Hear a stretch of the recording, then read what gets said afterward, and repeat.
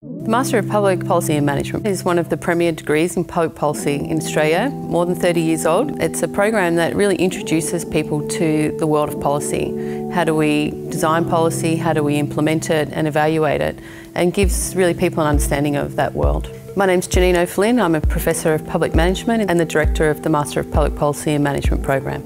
What attracted me to the course was um, how it was a combination of three different schools. It draws from the Faculty of Law, the Faculty of Business and Economics, and the Arts Faculty.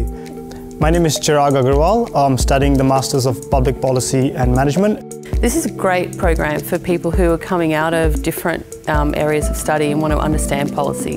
They might be technical experts but wanting to, to move into that world. Some of the connections I made uh, were with professors who, who have been in the field for 30, 40 years, either as academics looking into the area or as public policy practitioners. So it was really exciting to be speaking to some of these people and, and learning from, from their expertise. We have an incredibly diverse student group who come into the Master of Public Policy and Management.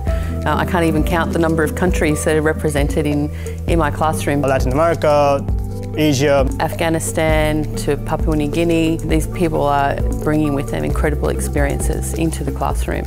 Um, we've designed a curriculum that not only reflects that but also allows us to, to talk about the global issues that are confronting um, policymakers. The highlight for me in, in this degree has been the flexibility that the degree offers. We have a lot of really intensively delivered subject that allows us to, to really have in-depth discussions in a way that we might not if we were you know, week to week, just a couple of hours. And so that itself builds a, a really strong cohort of students, but, but allows us to, to really explore those issues in a lot of detail.